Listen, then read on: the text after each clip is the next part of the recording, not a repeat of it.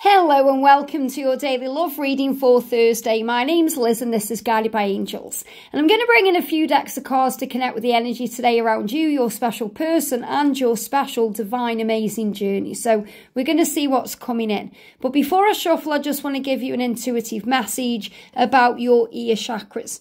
When we go through ear chakra activation, we may go through ringing in the ears. You may have downloads. You may find that you go deaf in one ear you feel like you're underwater, you may have pain in your ear, or you may feel like your ears are adjusting in some way to receive powerful insights. And that's really what I'm connecting with right now. And what they're giving me is a little bit of ear pain. And if you are experiencing that and your person is in a karmic situation, I feel that's your sign about arguments with that person.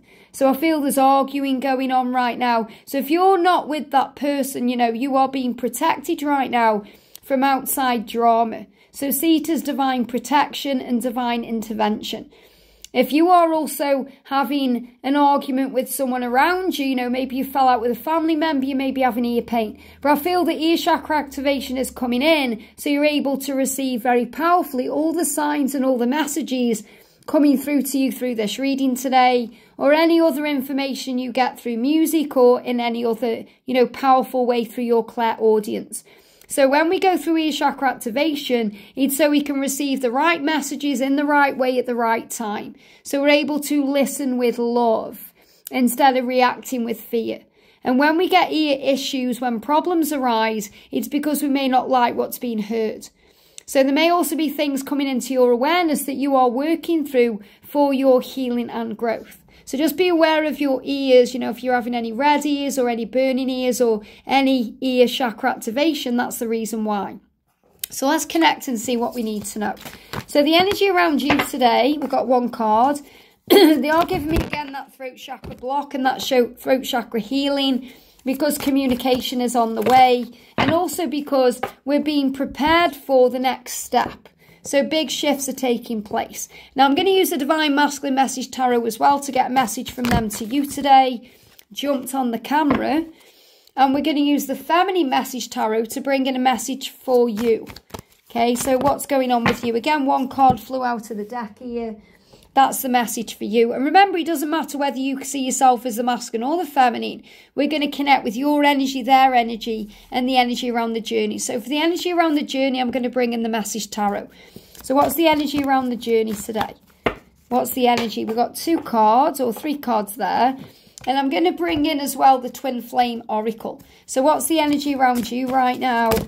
Flying out of the deck, we've got three cards. These are the cards for you. What's the energy around them today? One card and the energy around the journey. Look at that falling on the falling over the camera there, flowing out, taking a leap of faith, which is absolutely what that card says there and you start and we know that's coming in so let's connect and see what we need to know and if you would like a personal reading with me you can reach out to me at guidedbyangelsxo at gmail.com remember if you're experiencing any cold or flu like symptoms it's because of this energy upgrade ready for this new start. So the energy around you yeah i'm not surprised this card's come up. We've got ascension. And ascension is where we are being prepared physically, emotionally, and mentally for the next stage of our journey. And when we go through ascension, we go through physical symptoms. And this is what I'm experiencing right now and what I'm talking about. So I definitely feel there is an ear chakra activation. So you receive the right messages. So there could be some ear pain or ear issues taking place. There could be some cold or flu-like symptoms.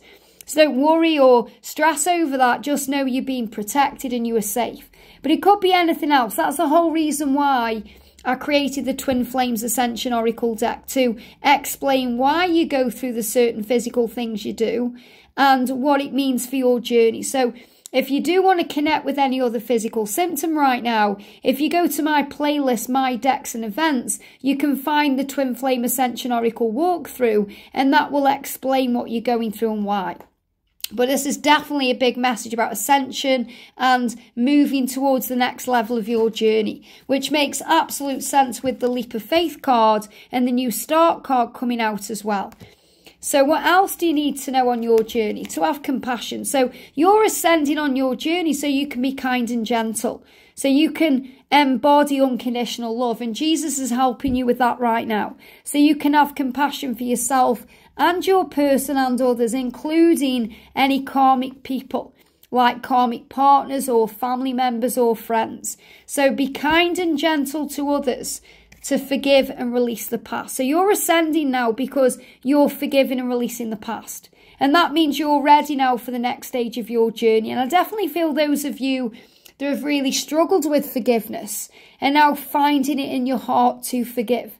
You are now in this energy of releasing because you know that to move forward together and to have the beautiful life together that you desire, you have to forgive them and you have to forgive yourself and you have to forgive and release the past. So this is about being aware of the changes and that's going to create the way for this journey to come back to life. So you're going through a rebirth right now. An ascension is also a rebirth. When we are reborn, it can feel very hard and painful and scary. Think about the caterpillar. It goes into the chrysalis and it gets reborn as a butterfly. But it's not an easy journey. It goes through a dark night of the soul in that chrysalis. And if anyone breaks open the chrysalis, it won't grow properly. It really is all about surrender. So you are coming back to life, and so is your person, and so is your journey together. This is a big message about reunion, rekindling the connection. It's about reuniting, you know, that rebirth energy that's flowing in, a resurrection, things coming back to life, things beginning again, a new start, a fresh start, a leap of faith. And this is because you're learning to surrender. And I spoke about this before, you know, I spoke about it a number of times. Imagine that you've got a cake mix and you're putting into that cake bowl all the things that you desire, all the things that you want, your favourite cake you are manifesting. So you're putting all your ingredients into that mixing bowl, you're mixing it up, and then you put it into the cake tin. And then you put it into the oven, and you have to trust the oven to bake that cake. You have to give it to the oven. And the oven is really like the universe. So when you're putting all the things you want into that cake mix and that cake bowl, that's you setting your intentions. That's you asking the universe for what you want. And when you put the intention out to the universe, you are really putting it into the oven and giving the universe the opportunity to make it happen. Now, if you keep opening the oven door, your cake isn't going to rise properly. In fact, it's not going to rise at all. It may not even taste good.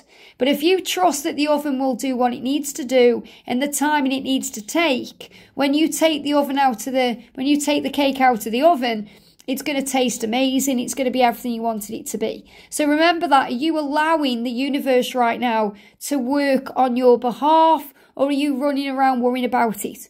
You know, imagine you give an order to the waitress in a restaurant and you say, okay, I want I want this meal. Say you want lasagna and chips or whatever it is. You give it to the restaurant, and the restaurant, you know they're going to create it for you. You don't go into the into the kitchen chasing around the chef saying, Are you cooking my food? What are you doing? Are you doing my chips? Are you doing this? Are you doing that? You have faith that when it's ready, it will be delivered to you. So remember that when you start worrying.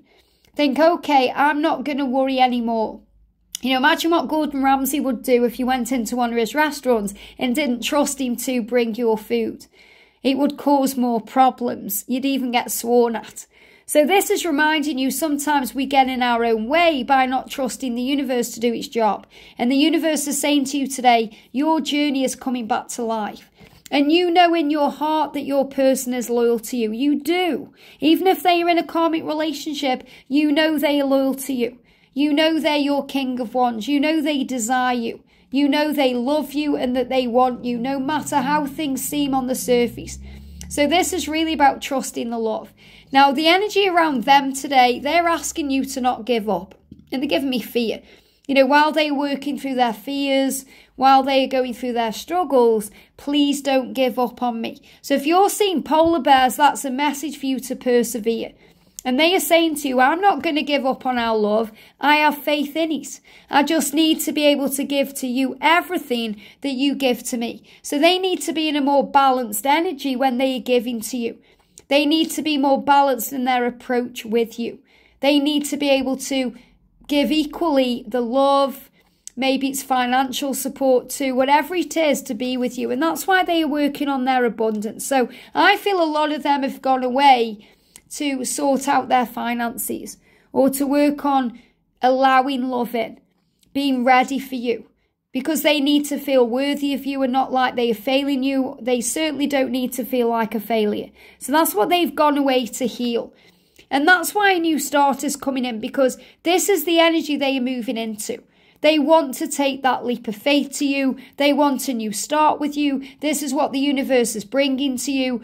And the 5D connection you share, which is cosmic right now, dreaming of each other, feeling each other, receiving signs and synchronicities about each other, is showing you this truth. You know, you're meeting up on the astral realms right now to talk and make love. And that's why you may be having very vivid dreams. You may even be having vivid dreams about coming back together, the serendipity of it, that the universe is creating the way just like magic. There's magic in this connection right now. That's why you need to listen to this guidance today. And that's another reason why your ear chakras are being activated, so you're able to listen. This is why their ear chakras are being activated, so they're able to listen to you and listen with compassion. And this is also what you're being guided to do. Have faith in this connection right now. Things are falling into place. Things have been healing since Easter. And you know that too. And Easter is also about a rebirth energy. So since Easter, there's been so much change because your person is becoming who they were born to be. They are falling right now so they can stand back up. The divine masculine energy is changing, it's shifting. They are becoming who they were born to be.